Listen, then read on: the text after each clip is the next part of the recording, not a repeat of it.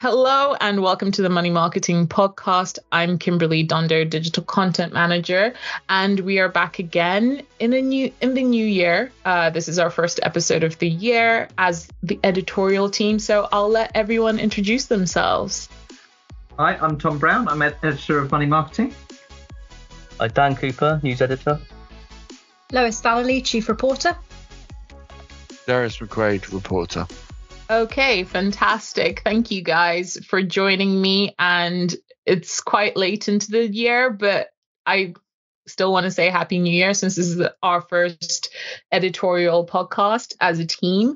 Um, and january has been quite a busy month as it always is. So i want to know what you guys have been up to in january um, and what stood out for you. So tom do you want to get us started with uh, what stood out for you that you worked on in january well, um, I think the story that sort of stood out to me, for slightly sort of personal reasons, was this uh, new cash hub that Quilter has launched on their platform. Uh, mm-hmm largely because um, I've done a uh, MM Meets with uh, Steven Levin, who's the CEO of Quilter. That's going to come up in a future issue, but uh, mm-hmm. he was talking a lot about the platforms and the various different enhancements and upgrades that they've made over the years, and we've reported on that quite a bit.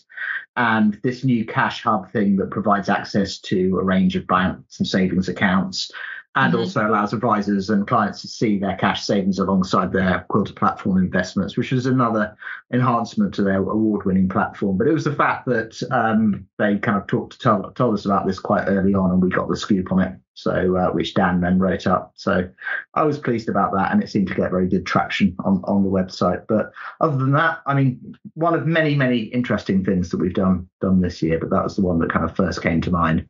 Yeah, definitely. We'd love a good scoop. Um, um, and Lois, what about you? What stood out for you in January? Well, I've been really enjoying this art class that I've been doing. And the yeah. other day I did a pottery workshop. Oh, you meant work wise, right? Yeah. Oh, okay, I mean, sorry. I'm sure the audience might love to hear about your pottery, but maybe that'll be another podcast we can launch. I'll put a photo on X so everyone yeah. can see.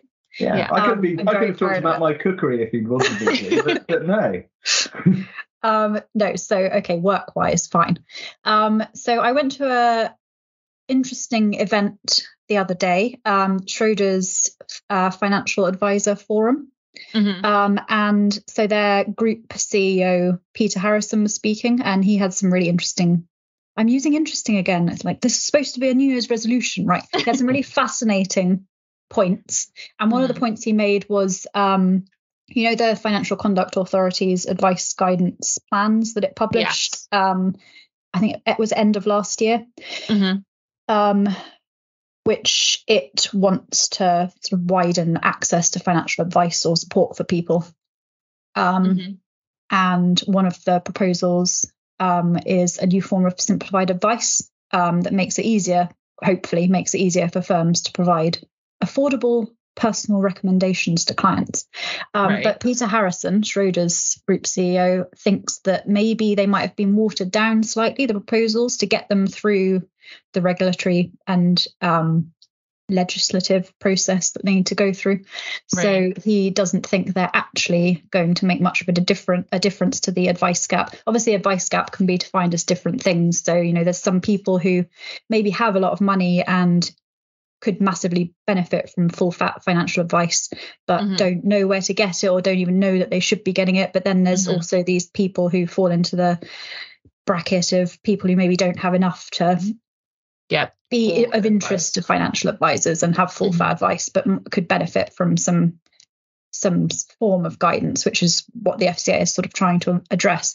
But yeah, uh, Peter Harrison thinks that maybe they've been watered down slightly, like I say. So I think his specific words were they've been sort of turned into things like, oh, this might work for you as a per uh, if you've got this this might work for you which is kind of already out there a little bit. And he was arguing that it's actually we need things done in a completely different way to help advisors become more efficient so that they have more time to serve more clients and therefore can maybe serve more of the so-called in quotation marks less valuable clients as well as their really rich clients, who probably make them the most money. So mm-hmm. I thought that was quite an interesting point. Um, he was pretty bold on some of the things he said, some of which I've been asked not to repeat in the exact wording that they were given. oh, we don't want to start trouble, or do we? I don't know. Um, but no, it was a really, it was a very interesting. Um, no, I'm going to hit myself every time I say interesting. no, it was a really was interesting. It was interesting. Um, but yeah. yeah, that sounds that sounds I don't not disappointing. I don't know.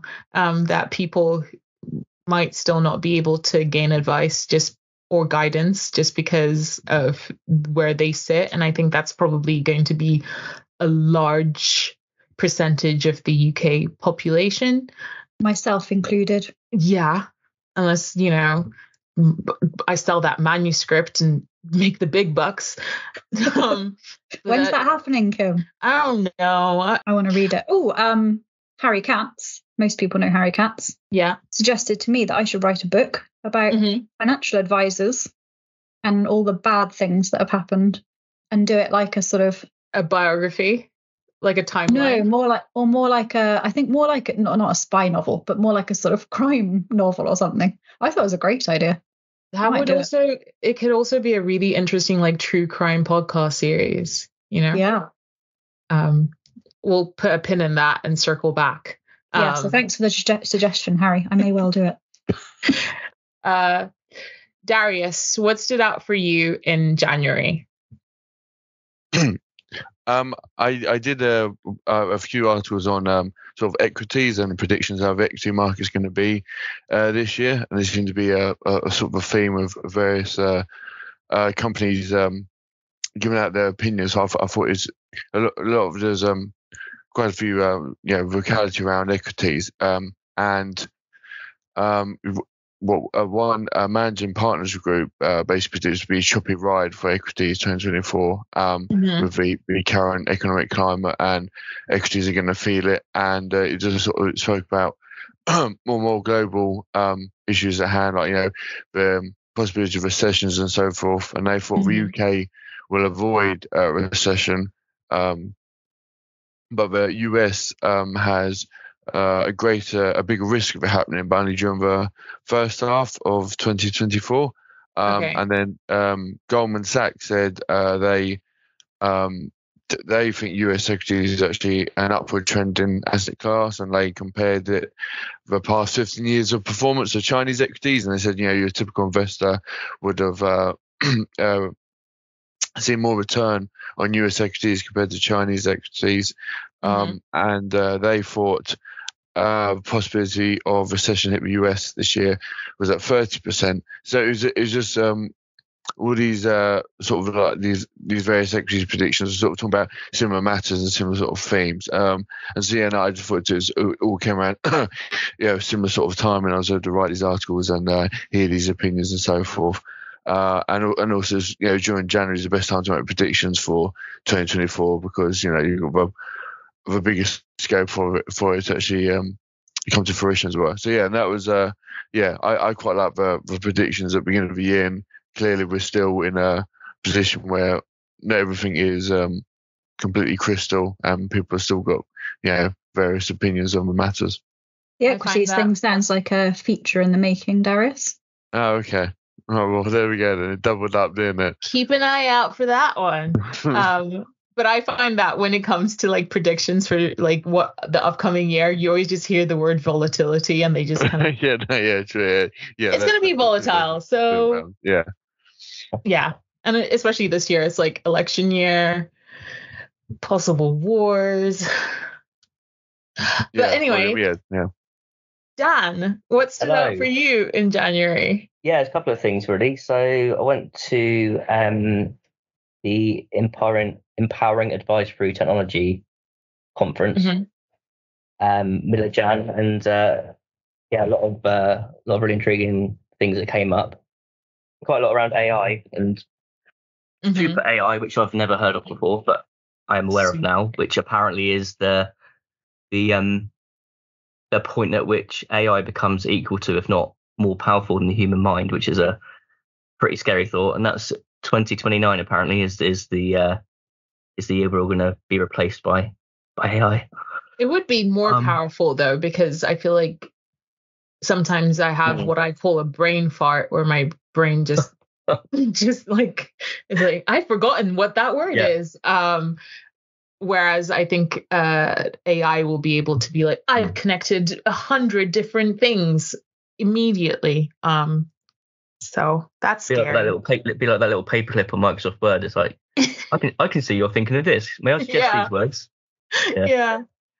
But um, yeah, no. So it was um, yeah, a lot of stuff around AI and obviously about the impact uh, on the advice sector, what it might mean going forward. And there was a lot of talk about paraplanners hmm and uh, you know again talking about not not necessarily AI replacing them as such, but there was a lot of emphasis on the need for paraplanners to become data experts. You know, saying Mm-hmm. that actually it, it will be the paraplanners who kind of embrace the technology and who learn to use it properly and really become experts in the data. They're the ones who will, um, you know, stand the best chance of effectively not being made redundant, not losing their jobs when hmm AI does sort of kind of take over. What about Well, if they all do? What about if every that's single one learns all about tech? That's a very good point. That'd be might be a it kind of it, it kind of brought me back to when I Mhm. think uh, when I first started um, at Money Marketing, and Yeah. uh, there there was an article or something that was was so, so- one of the editorial team had published questioning. I don't know if it was a guest article actually, or if it was uh, something that the editorial team had written, um, and it was questioning whether paraplanners were as important as financial advisors, something like that. And it just got this massive debate going. Um, Was it about whether know. paraplanning is a profession in itself? yes, yeah, Yeah. exactly, yeah. Because I- I people wrote see it as a stepping that. stone to becoming, you know, Hmm. a financial advisor. You don't stay being a paraplanner forever. But some people were arguing, no, I enjoy being a paraplanner. I don't plan on going um, over that. But yeah, I remember that being a I think I've, topic. I've I've heard that it's paraplanners that are more at risk of um, being made redundant from artificial intelligence more than actual financial advisors. But I think it depends like what kind of paraplanning they do, whether it's Mhm. just the admin tasks which could be replaced by technology, or whether it's because lots of paraplanners do a lot more than just admin. Mhm. So Yeah. it depends what kind of paraplanner. Yeah, yeah, that was certainly the impression I got from the from the conference. You know, the, the kind of feel in the room and the um the things that Ian McKenna and, and others were saying was that was that yeah, that paraplanners do seem to be, in their view, kind of more at risk for AI than than perhaps planners or advisors. But um, and the other thing that I found quite quite um interesting there, I said interesting too, was um was about um uh, about advice firms um, that don't have a client portal uh, Mm. be, being being less valuable to, to potential buyers than those that do. Um, yeah, so because it's a big was- investment to create one. yeah, exactly. But it was, I think the, there was a stat was uh, only fifty five percent of advice firms that um, have made a practice management portal available to clients. Um, you know, which they said was disappointingly low. I think Mhm. over overall, sort of 38% of those surveyed had made an additional portal available, but quite a high number thought that giving clients two different portals kind of hinders the experience. So a lot around, yeah, a lot around client portals, a lot around AI. Um, in terms of the the news front, um, there were a couple of stories which kind of stood out for me, which uh, both involved uh, potential job losses, which obviously never never great news. Um, Mhm. which Aberdeen was kind of the big one, um, and they're uh, cutting around about 500 jobs uh, as part of its plan to save Yeah. 150 million. Um, big chunk of that, big chunk of the savings they, they're saying is going to be from the investment arm of the business as opposed to the advice. Why?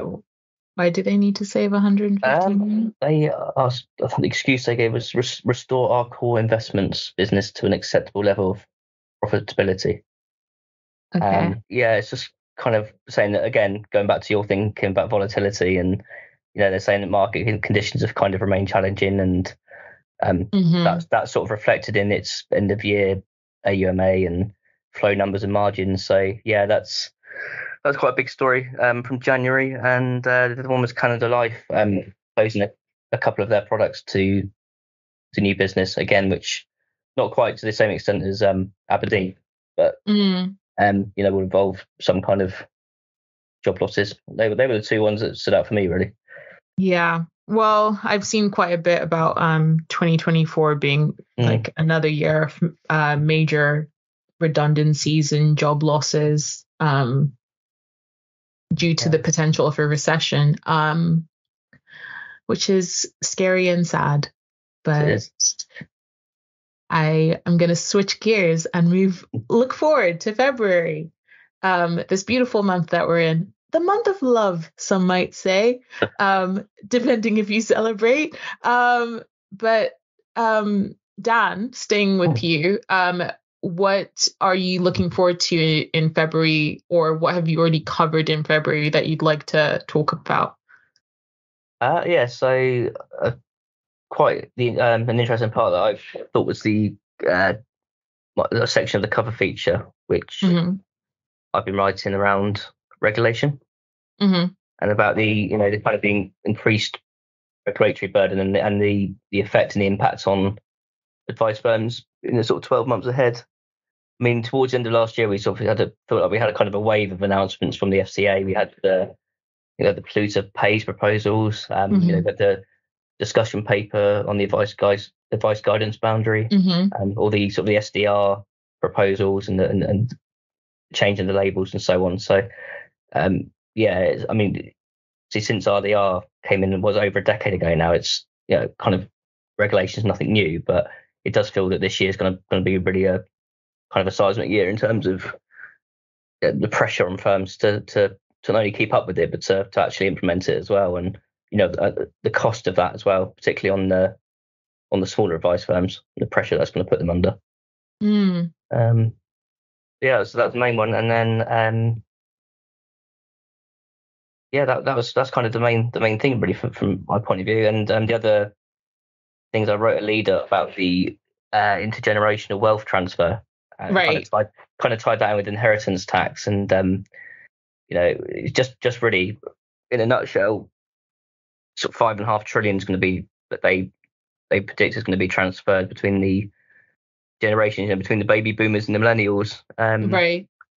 And Schroders did a bit of research towards the end of last year saying that 63% of advisors are concerned that their business could lose assets during this wealth transfer.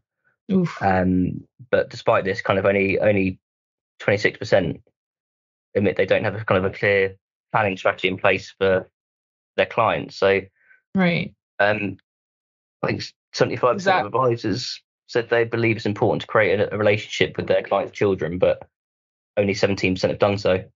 Um, only 12% of advisors have formed a relationship with the client's grandchildren. So it's kind of like they, they're, they're concerned about losing the assets, but they're still they're not doing anything about it. Enough work, yeah, exactly. Enough work yeah. being put in to actually kind of stop those assets from walking out the door.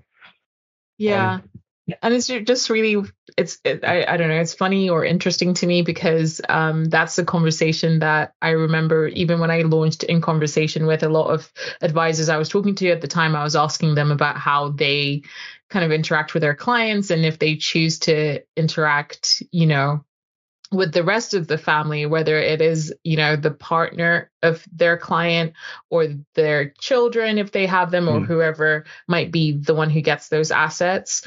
And I think a, a pro, an issue that they face is that they don't want to step on anyone's toes or anything like that, I guess. Um, and it might be a bit awkward to start those conversations. But I, I think it's just something that needs to be done because otherwise just, you will lose business. They need to do it in a way that's not an obvious play for more business. Yeah. Yeah. Just be like, have a family fun day event. I feel like that's an easy way. Send out to all your clients, come to our event. It's a barbecue. Bring your family, bring your grandchildren. Actually, uh, Timothy James and Partners does that. They have events for their clients and their clients' families. Not exactly. quite barbecues, but like art exhibitions and stuff. Yeah. So, things that will allow you to naturally engage with your client's extended family. Easy win. Not actually a bad idea. They should ask me for these marketing ideas. um, uh, Lois, what about you? What's uh, what are you looking forward to in Feb? So for the February cover feature, I looked widely at demographics and how that might affect um, advice in the future. So I sort of started off talking about Generation Alpha. Obviously, mm-hmm. Generation Alpha is not yet old enough to be receiving financial advice. I think the oldest are in, I, I put in their tweens. So like yeah, 11 or 12, 13 yeah. maybe. I can't remember yeah. the exact um, boundaries. But yeah, um, but I mean, it's only going to be another 10 years when they might start looking at how they should be investing in the future. So 10 years in the great scheme of things isn't that long. But the one they're like on the internet and they're probably getting all and those they're probably like, getting cryptocurrency ideas. things and seeing all those all their favorite influencers promoting some gambling thing. Yeah, exactly. So, so as soon as they have their own money, they're probably going to be, as a generalization, obviously, they're mm-hmm. probably going to be looking at how they can save. invest or save or whatever they want to do with that money, spend. Mm-hmm. Mm-hmm. Um, but then generation alpha, no, I just said generation alpha. Generation, I get so confused with the generations. Gen Z. Yeah. That's the one below millennials, right? Yes. Yes. So yeah. they're now, I think people still think of them as being teenagers, but some of them are in their mid 20s. So they probably yeah. are, you know, they're getting their first or second job, looking at how mm-hmm. they can save for the future. And obviously, some advisors are very switched on to this, but I think maybe a lot of them don't necessarily consider that. And it's a bit like what we were just talking about the intergenerational wealth thing. Mm-hmm. Some of those might be children or grandchildren of existing clients who mm-hmm. I don't we don't need to go through all that again. But yeah, the, the advisors might want to start trying to build relationships with. Um, but also these younger generations of clients coming through are likely to want advice in a different way. So the most maybe obvious example is they might not want to have face like one one face to face meeting a year. They might want to just check something quickly on WhatsApp an or an app or whatever.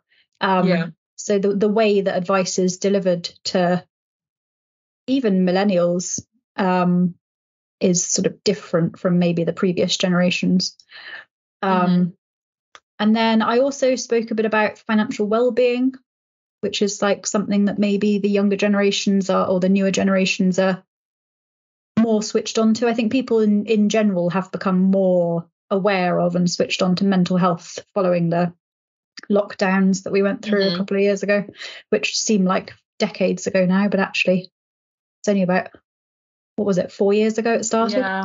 Yeah. So I do think mental health as a general theme has massively risen up the agenda. And alongside that, obviously finance is massively tied well, finance and mental health are hugely tied up together. I've had quite mm-hmm. a few conversations for you mentioned in conversation with uh, podcast kim i've had quite a few conversations with financial advisors and financial coaches who are sort of focused on financial well-being and how mindset affects money and how people get into debt when they're low but then you know debt makes them it's sort of all tied up together. So yeah. that's another massive consideration i think that if advisors aren't considering the well-being of their clients they're kind of missing out on a massive opportunity to help um, and then that sort of goes hand in hand with just this idea of the financial plan as a whole so not just recommending you know funds or products or investments mm-hmm. or whatever but thinking about what the client actually wants from life and mm-hmm.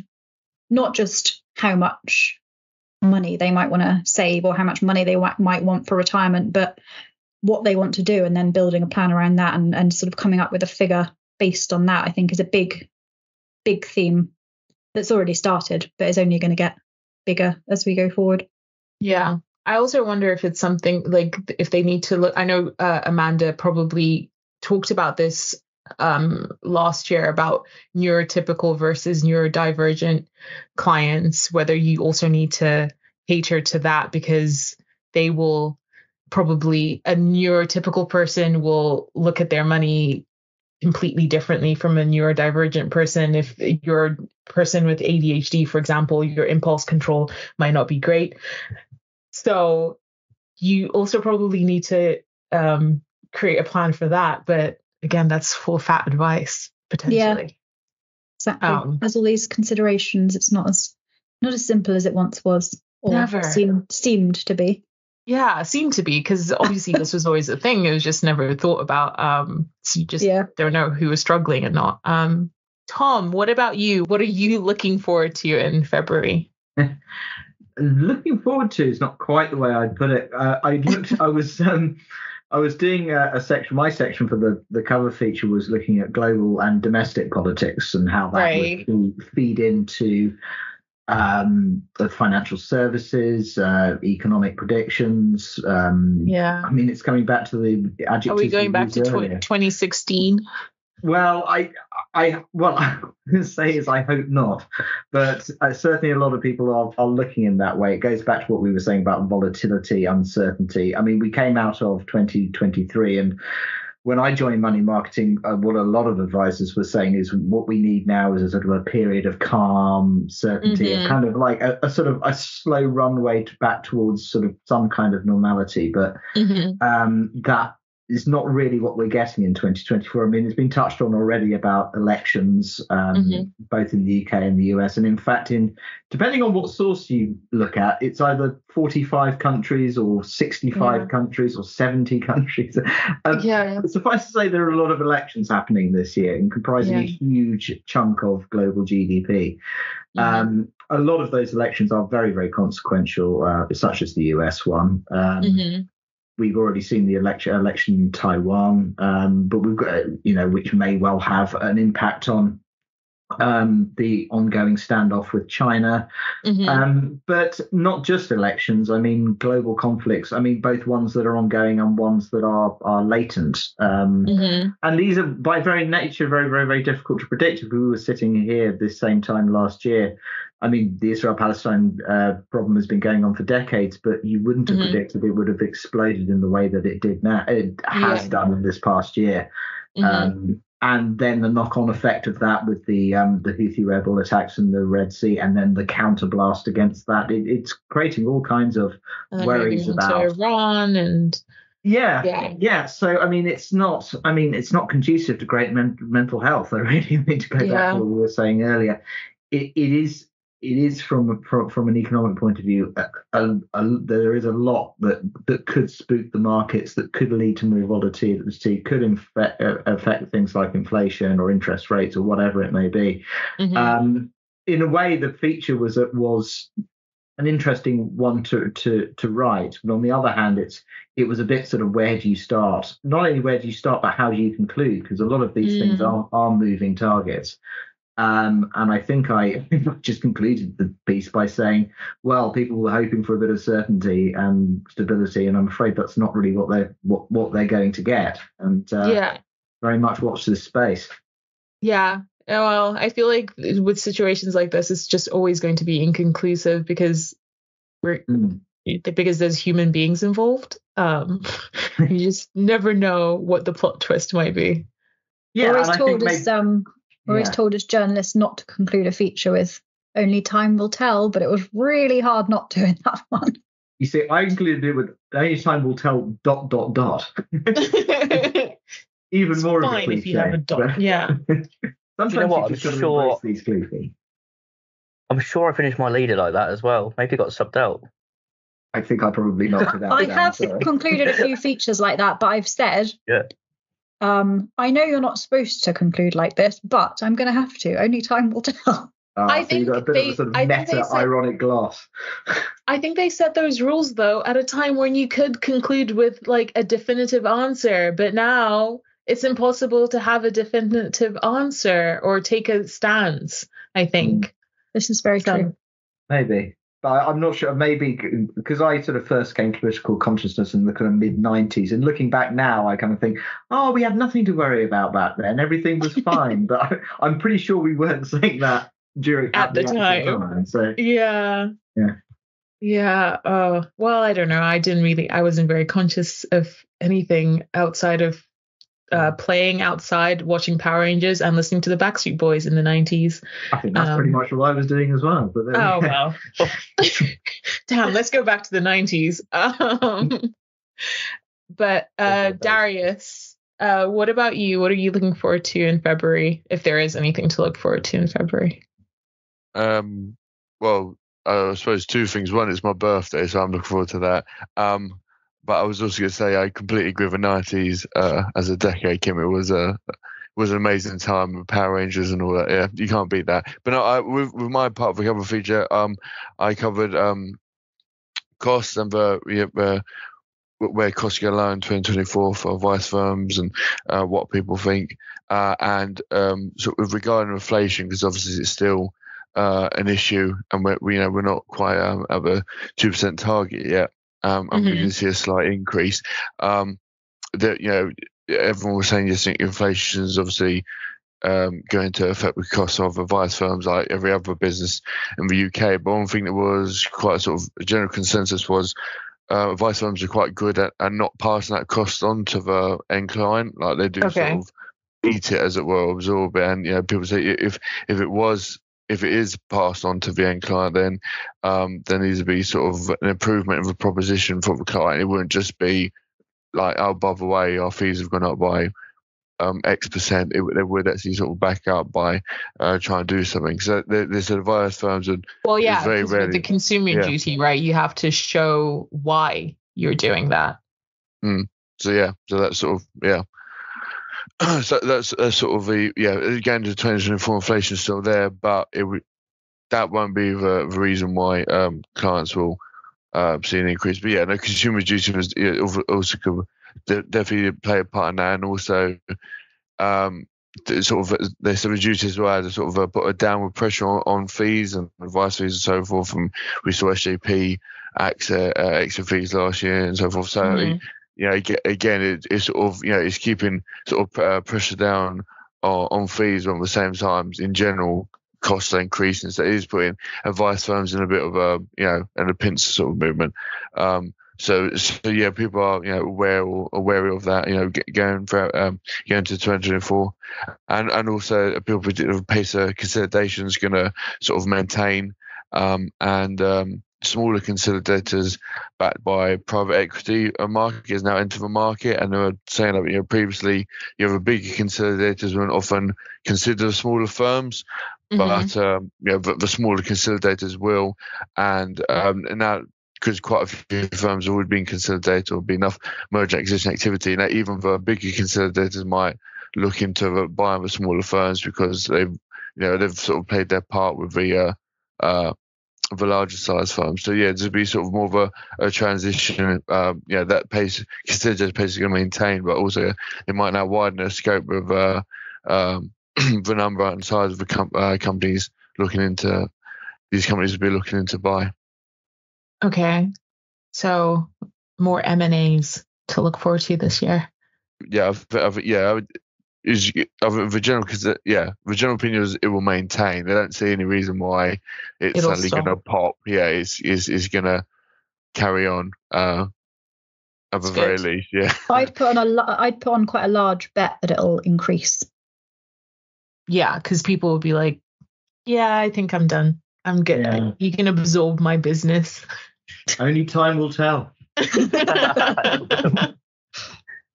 um, but talking about M and A's, and obviously, um, I don't. okay, I'm trying to do a good link somehow, but um, there's been a lot of talk about uh, the advisor gap in terms of there's not enough financial advisors out there to fill the ones who are going to be retiring in the upcoming years, which will leave a lot of clients lost essentially. Um, so in collaboration with Money Marketing, um, there we have launched a community uh, future financial advisor, uh, which will help guide not only um, students who are leaving, you know, sixth form.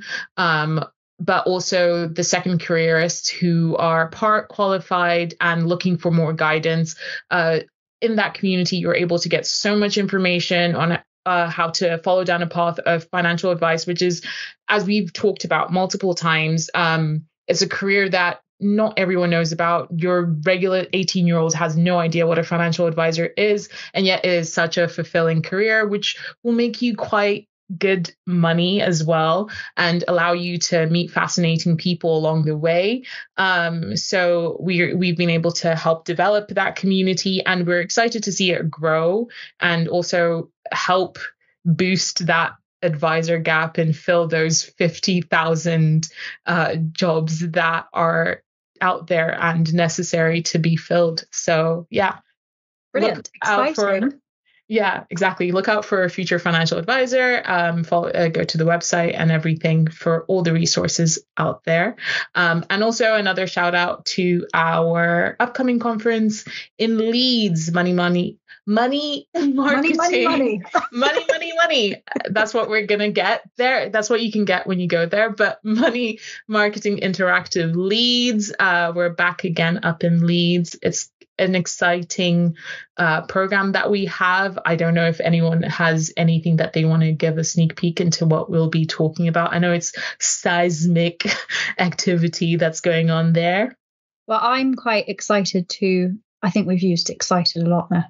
I'm yeah. intrigued. Now it's going to be excited. It was interesting. Now it's excited. Okay. Yeah. I'm intrigued to hear from a panel about technology yeah. um, because I think that's a really fascinating area. You know, how advice firms are using technology and specifically AI to mm-hmm. make their businesses more efficient. So we don't know, or we can't reveal who's going to be speaking on that panel yet, but I think that's definitely one to watch, watch out, for. for. That's mm-hmm. one that I'm particularly interested in. Also, yeah. um, the conference is the day before my birthday, so I'm excited. Stick around and celebrate stick around birthday for my, for my uh, big party yeah. after. yeah, 9th so, of May. That is 9th of May. Exactly. So make sure to go over to Money Marketing's website so that you can register and secure your seat at one of the best conferences of the year. Um, but I'm going to wrap it up now. Thank you guys for joining me today. That this was a really great first podcast of the year, and I look forward to talking to you guys again next month. Yay! Thank you, Kim. Thank you. Thank you. Thank you.